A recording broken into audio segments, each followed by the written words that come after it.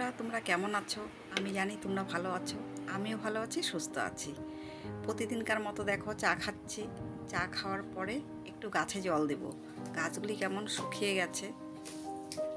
দেখো, এখন সকাল নটা বাজে। ভাবলাম গাছগুলি একটু জল দিয়ে একটু চিরা দিয়ে মিষ্টি বানাবো। চিরাটা এক ঘণ্টা ভিজিয়ে রাখব। তোমাদেরকে আমি অল্প অল্প করে দেখাবো। এই দেখো, চিরাটা ভিজে গেছে। এখন সেটাকে ভালো করে চিপে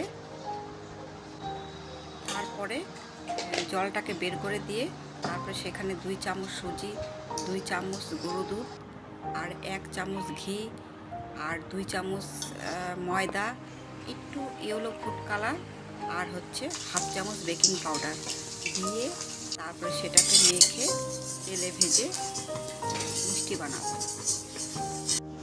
দেখো। তেলে ভাজা হয়ে গেল।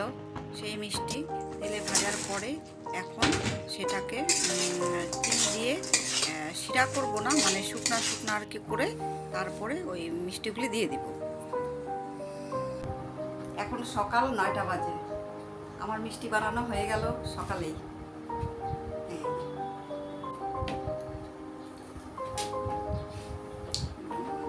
দারুণ। চিরা দিয়ে মিষ্টি। চিরার মিষ্টি।